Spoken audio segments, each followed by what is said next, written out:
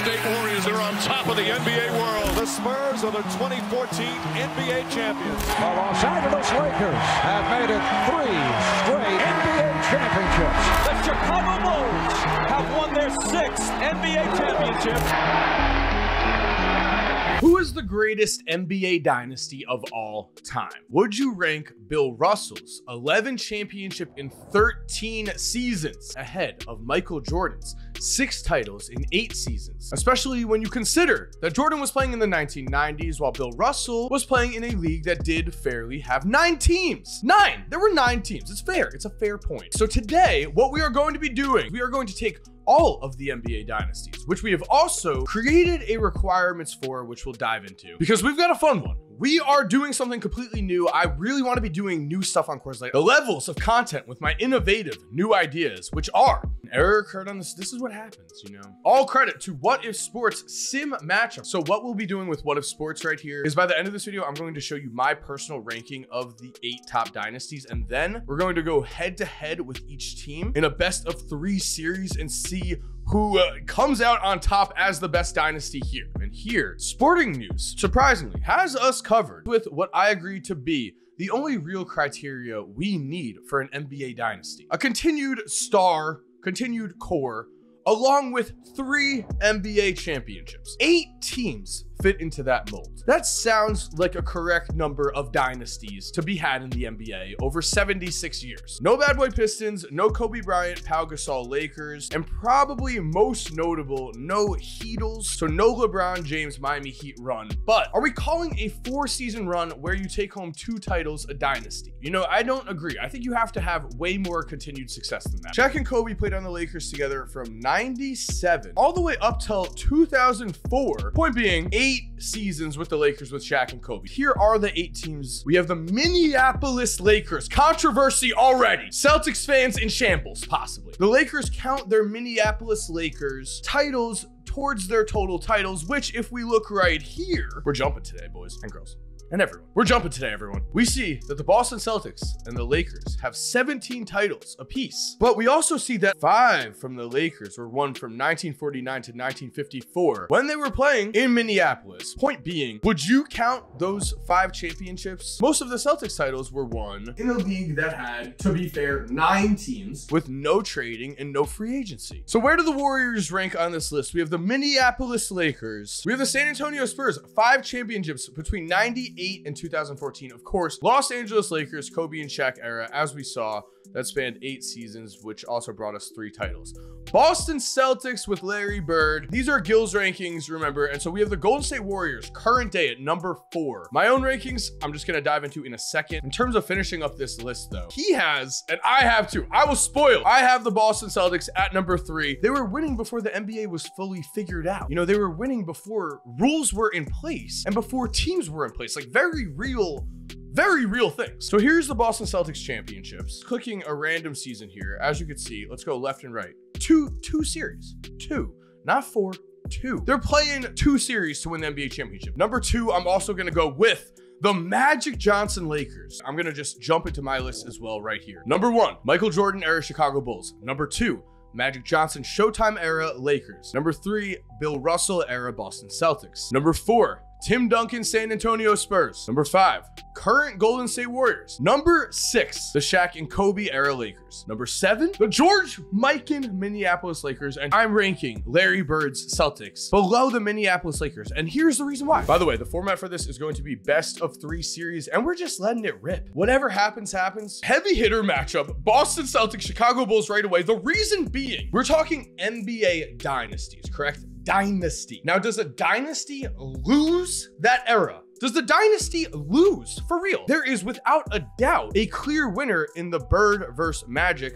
Lakers versus Celtics showdown. And that is the Los Angeles Lakers. That is the Magic Johnson Showtime Lakers. So that's why I have the Lakers at number two. Am I saying that the Boston Celtics 1986 are getting taken down head to head by the Minneapolis Lakers? No. What I am saying is for a dynasty, I'm looking for a period of continued dominant, dominant play. And the Minneapolis Lakers had one star. They had five championships in six seasons. Sorry, LB, you had won one more. By the way, guys, make sure to subscribe and turn on post notifications because if you did not know, I'm doing the biggest giveaway ever. To celebrate the launch of KorzLite, we are giving away a VIP experience to game four of the NBA Finals. Plane tickets, a room, incredible seats. It is all included for game four of the NBA Finals for one lucky person who is subscribed to KorzLite. The winner will be picked on June 1st. All you have to do to enter is subscribe and turn on post notifications for KorzLite. Good luck. I cannot wait to pick the winner. This is going to be incredible. We see in game one, Larry Bird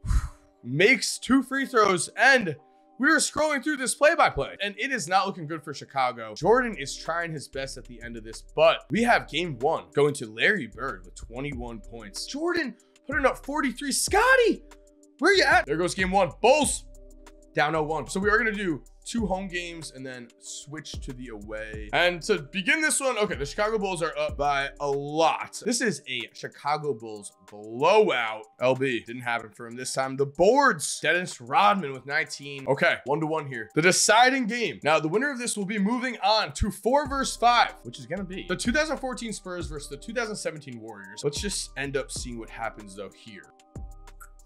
Fourth quarter, it is a close game. We need to see, are the Boston Celtics going to be able to pull this upset? Michael Jordan, bank shot, nine minutes left, but we have Scottie Pippen, big turnaround. Did the Celtics ever make this a close one? It's not looking like it. 96 Bulls run out the clock, put them to the next round. We show proof of purchase here, recent games, Papa, which I will say as we are here looking at the San Antonio Spurs. Looking Uh, at 2014, which we are also going with just highest win total again. We have 2014, 2017 have not had a close game yet. So the Golden State Warriors, I have number five right now. I think if they win the title, I would still have them as number four, but you could then talk me into the same Bill Russell argument for number three. So we go into this fourth quarter. Do we have a close one on our hands yet? Not even.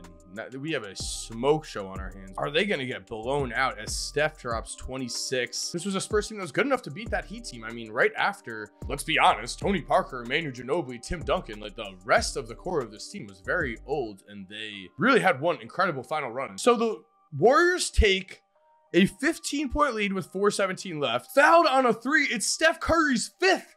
142 to go, and Kevin Durant's fadeaway is rejected by Kawhi Leonard. We have a ball game. And on the other end, Tim Duncan grabs the board. Kawhi 4 3. That bold, when we scroll, we know that's a score. Steph Curry, eight seconds later. Warriors running their offense. Kevin Durant overthrows it out of bounds with 30 seconds left. Spurs, chance to take this. Tony Parker's driving attempt is denied. Klay Thompson wins the rebound and is fouled. Steph Curry is fouled, makes one. Danny Green buries the three, one point game. Overall, Steph carrying 35. Love to see. Tim Duncan, Timmy, 22 and 10 overall. We have Golden State Warriors advancing in a sweep. So that means that 2 verse 7 does now give us the Los Angeles Lakers with Magic Johnson. I'm assuming that the 1987 Los Angeles Lakers are going to take down the 1950 Minneapolis Lakers. Anyway, let's see. Did the Lakers pull this out? Uh, yeah, this is just a giant blowout. So the 53 Lakers, they're still figuring out basketball, but here we go. We're just rolling into game two. Is this gonna be a sweep? No. Sorry, we're not even going to a play-by-play. Move it on. Boston Celtics, 1965. All right, so here we go. Shaq versus Russell. Game one. The matchup you never thought would happen. Here we go. We got a close one. We got a close one. We are going to the end of this game, and Satch Sanders contested three. We have Shaq, Fallon, and Hondo. John Havlicek, Glen Rice, open fadeaway jumper. Why is he fading if he's open? Bill Russell, fadeaway jumper. Who's guarding him? Shaq. Kobe, open fadeaway. People can't stop fading in this game. Foul on the jump shot. Makes one, misses. 47 seconds left. Knocks it in. Two seconds left. Connect. What? Connects. Sam Jones. Bank is open. Tie ball game. We're in overtime. Okay. Watch out for that Hondo three. Okay. Rejected. Fouled again. Shaq puts it away at the line. Oh, wow. Shaq is just fouled like a monster. They have a chance to still win. On a great look, five seconds left. Derek Fisher? No, Glen Rice. They call timeout and they can't connect. What a journey. Right to the next one. Lakers take game one. Game two, another close one. Five point game, 240. All right. You know, maybe some of you were believing in the 1960s and 50s teams, but Unfortunately, they have been smoked out of this competition. We're moving on. We are on to the second round. So this is going to be the 2017 Golden State Warriors versus the 1996 Chicago Bulls. We are hidden sim and we are seeing Steve Kerr drills a three, 11 30 left nervous. I'm feeling it. I'm feeling the nerves. I'm kind of rooting for the Bulls. I'll admit it. Scottie Pippen drills. Jordan, the jumper, four and a half left. And we have 34 seconds left. Klay Thompson misses the open three. Ron Harper corrals. Everyone's corralling. Golden. We don't need to be those guys. But Golden Corral in the rebound. Michael Jordan buries the floater. Steph Curry makes the contested fadeaway near the basket. Jordan fouled. He makes them both. He is Michael Jordan. And we've got a timeout. Steph Curry with the brick. Sorry, Warriors fans. Chicago Bulls take the step five for 17. Michael Jeffrey Jordan, 32 points. We got game two, three point game. We're scrolling. We're scrolling. Jordan fouled. Okay, we're here. We're here. A minute left. Luke Longley. Longley. Jordan with the three. How we feeling about the Chicago Bulls advancing? Warriors didn't get a home game, to be fair. Jordan, though. Chicago Bulls advance to the finals here. On the other side, Shaq and Kobe going up against 1987 versus 2000. Another battle of the decades. Old Kareem, Shaq trying to bully. Could happen. Magic's Lakers with a big lead to start the fourth quarter. No, wasn't. No. 36 points, 22 boards from Shaq. So on the other side, Kareem holds it down at 27. Magic, 18, 12 assists, 7 boards. James Worthy, a big 27 points. Shaq was player of the game in the loss, the Jerry West Award. We're going to have Magic versus Jordan in the finals. Where can Shaq and Kobe make this interesting? Two minutes left. Finger roll. Michael Cooper, floater. Magic Johnson, no look pass. He taught James Worthy well, I guess. Shaq this is nonstop scoring explosions. The 2000 Lakers trying to stay in this. Blocked by James Worthy. Could be. All right, there we have it. 1987 Lakers versus the 1996 Bulls in a best of three to decide who's the greatest NBA dynasty. We have found that today, everyone. So thank you for watching. I hope you enjoyed today's video. If you are new to the channel, make sure to subscribe and turn on post notifications because we are on that grind to 10,000 subs and we're just not stopping. Comment down below anything else you want to see, anything that you think would improve these types of videos. As we get in to game number one, we're hoping for a good final. So here, though, we have a two-point game. Kareem, Clank, Scottie Pippen, knocks in the runner. Scottie ripping down the board. Michael Jordan.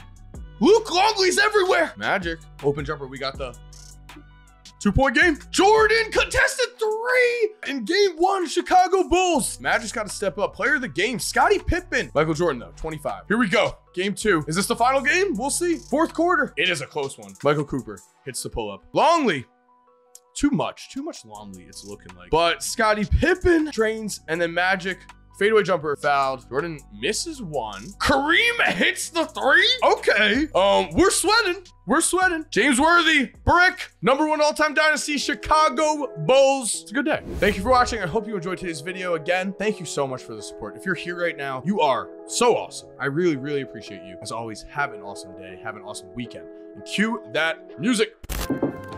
Kevin. So I see you're becoming a teenager. Been walking around acting all cavalier. I think it's about time we had that talk about the Hawks and the Hornets. No way. Dad, I'm not going to talk about that with you.